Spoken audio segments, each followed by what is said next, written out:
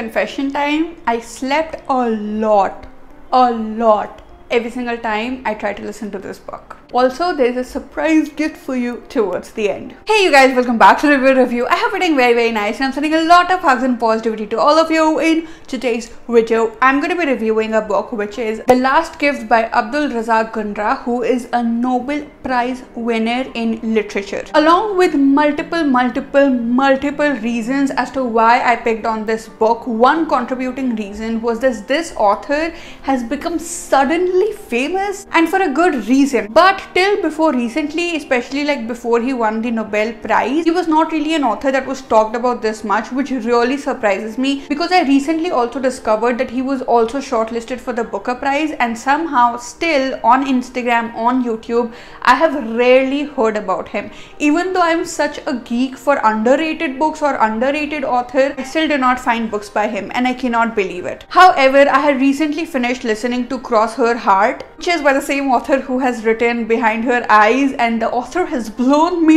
away once again by the way and I was scrolling through Storytel trying to decide which is the next audiobook that I should be listening to. If you don't know how I choose my books then you should watch a video that I recently made as to what my audiobook strategy is. You guys that video is like so informative when it comes to audiobooks and it, it's completely going to change your audiobook game so do check it out. I'll link it in the description. This book the last gift has been popping up so much on storytel for the same reasons as i mentioned before. Storytel is an audiobook platform that you can download subscribe to just for rupees 299 and it has like over 2 lakh plus books over there in multiple languages and in English and in Hindi. If an application with so many books is like literally putting this one book on your face all the freaking time then you should listen to it. And here I am to review it for you guys. Let's begin. When you start listening to the audiobook, you listen to Abbas who is struggling to reach his house. And he's panting and he is anxious and he is like oh my god i am literally going to die right away. But he still wants to reach home and you can hear everything that he is thinking at that time. All his thoughts all his panic all his anxiety. And somehow he is still keeping himself together and wants to reach his house. The first few minutes of an audiobook are really defining minutes because you don't know about anything else that's going to come ahead. The fact that this old man was so proud and was not ready to let go of his strength and his courage and just collapse right there where he is was catchy for me. When he reaches his house, we come to know that he's going through a stroke and his wife Mariam is like startled beyond beyond explanation because that situation is something that Mariam would never expect coming from her husband and that again shows as to how Abbas is a very you know held together proud man who takes care of himself and who doesn't really indulge into a lot of stuff on the outside when it comes to his personal feelings. These were the first few minutes of the book and that totally grasped my attention and i was very very excited to read it and this is not where I fell asleep and I was so beyond excited when I started listening to it. Fast forward to the point where I used the speeding feature of Storytel where you can change the speed according to your need, change the speed according to your need and I started listening to the book a little faster because they were giving all these details about the past of these four characters. So now the four characters are Abbas, Mariam, the husband and the wife and their two children Jamal and Hannah. Now, Abbas is completely bedridden due to the stroke and we start listening to the perspectives of all of these four characters. Each one of them, whether it is the parent or it is the child, has a perspective, has an opinion, has a reason as to why they behave the way they behave because this was so much information from the past I thought of speeding it and I made it faster because you can make it faster on Storytel and I went up to 2x because I thought that I could just speed through all this information like I will listen to it but I can speed through it and then actually come to the point and come to the entire like you know main plot of the book. That is where the whole sleeping thing began. I started sleeping because even though I was listening to it as at a faster speed the book is very very detailed and, and I just kept waiting for the detailed part to get over and in that waiting I slept and then I woke up and the audiobook had gone I don't know where. Then I had to like slide back and I had to start listening to it again. And then again I did the same thing because I thought that it was my problem that I slept, which is obviously my problem also. The same thing happened again, but by this time I was a little ahead in the book and I realized one thing that this book is not really about this particular story or like this particular you know major plot line going on the past of these four people, the perspective of these four people, and how they have come to the point where they are is the story itself. That is the essence of the story. Their feelings is the essence of the story. What they have been through is the essence of their story. The dynamic between all four of them is the essence of the story. The relationship between parents and children is the essence of the story. Things that you have to go through when you are an immigrant in a foreign country country is the essence of this story. Because I realized this, I had to slow the book down. I started listening to the book carefully, and that is when I realized that this book is a very read between the lines kind of a book.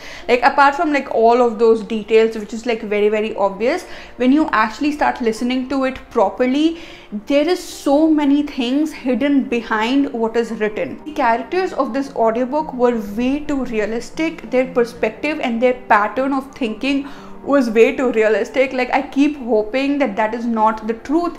And you know like we actually don't have to go through that stuff and that is not what reality is and i really want the reality to be prettier.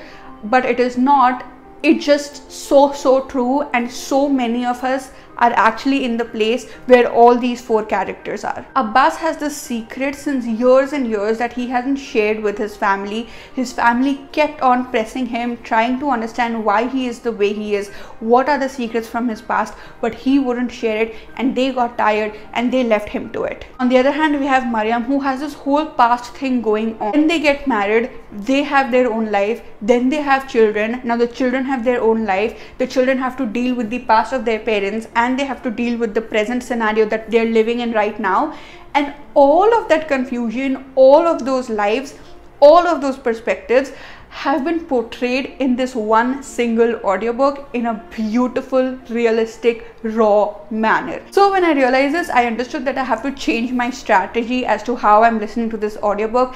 This audiobook is not something that I can listen to while multitasking, whereas in generally, I listen to the book while multitasking. I'm walking, I'm doing something, I'm going for coffee. Again, it's there in my audiobook strategy video, you can check it out. This is the kind of audiobook that I had to listen to carefully, and that is the reason I started using the bookmark feature of Storytel where you can actually bookmark as to tell where you have listened to. And I started using the sleep timer but not at night okay? Every single time I was listening to the book I would put a sleep timer so as to if just by chance I sleep you know the book doesn't like derail somewhere and I completely don't know where I was and I wouldn't lose complete context as to where I was. This was a different kind of usage for the sleep timer because I usually use a sleep timer at night. So basically you can just go and choose how many minutes of the book you want to listen to. Set the timer and as soon as that timer is off, Storytel will stop the audiobook on its own, which is I think the best invention of all times. Fast forward to the end of the book, I realized that this was so not what I wanted in the moment. I was looking for something extremely fun, but this is not the kind of book that you can just read on the go or you can read for fun. So actually I'm reading the paperback of A Little Life and I thought that, you know, the cover of this book was like so pretty and it's called The Last Gift and all that stuff. And when it started, it was like, you know, all like this courage and this and that. And I was like, okay, fine, you know, a, uh, a little life is actually super duper intense so i'm going to have a book that i can read at the same time so that every single time it gets too intense for me i can listen to this what i mean to say is that if you're looking for a fun read then this is not your book if you want to explore what the life of an immigrant looks like if you want to explore the relationship between parents and children if you want to explore why parents are the way they are and how their past affects their parenting and if you want to explore why children are not able to accept their parents if you want to explore racism, discrimination, all these sorts of things, then this is an amazing, amazing, amazing read. So if you want to read something intense, do go for it. If you want to read something fun, don't go for it. In any case, the book does does get boring sometimes at certain places but if you like detailed books because the language is extremely easy. So if you like detailed books if you liked for example books like the kite runner or a thousand splendid suns basically where everything is like very very detailed but very very like normal stuff the detail is not like thrilling and shit like that then this can be an amazing audiobook for you. This was my attempt to give you guys a full review instead of like you know recommending multiple books.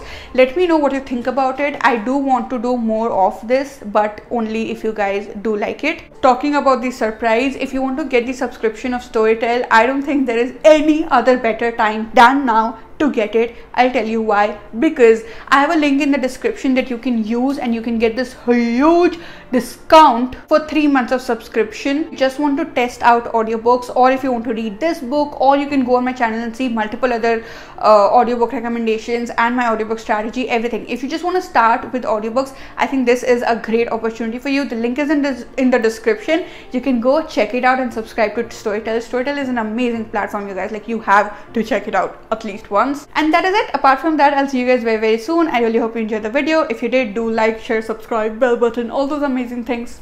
Bye